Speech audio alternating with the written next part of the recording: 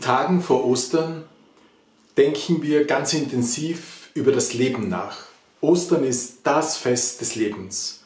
Vor wenigen Tagen hat das Frühjahr begonnen und der Winter führt noch ein bisschen Rückzugsgefechte. Es hat sogar noch beim Frühlingsbeginn geschneit. Aber wir wissen, gerade wenn wir die Natur betrachten, auch wenn da eine Schneedecke drüber liegt, dahinter wartet das Leben. Und das ist so ein Grundtenor in unseren Betrachtungen, wenn wir über den Menschen nachdenken. Auch wenn manches verdeckt ist, dahinter wartet das Leben. Darunter liegt die Kraft und das Potenzial. In diesen Tagen feiern wir auch Geburtstag Viktor Frankls. Er war der, der an dieses Potenzial im Menschen auch hinter einer psychischen Störung oder einer körperlichen Erkrankung geglaubt hat. Und wir dürfen diesen Impuls von ihm ganz übertragen auf unser Leben.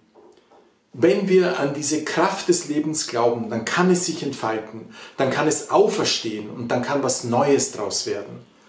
Das sind die Impulse, die ich Ihnen zu diesem Osterfest und immer wieder, gerade wenn wir im Frühling über das erblühende und wachsende Leben nachdenken, wünsche.